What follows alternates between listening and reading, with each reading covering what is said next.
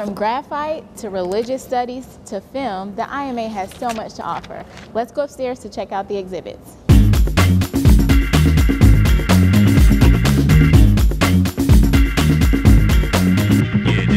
So this sculpture is a part of the ancient art of Mediterranean and this looks like it's a highly ornate vase.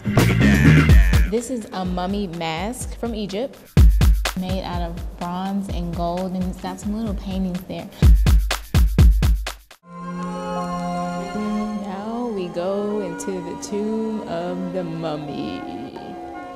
I love mummies. So it looks like here we have a mummy and I'm gonna be quiet because she looks to be sleeping for about a few thousand years.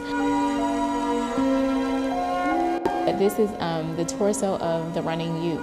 I'm not really sure why the head, legs, and arms are cut off, but maybe he just made Zeus a little bit mad.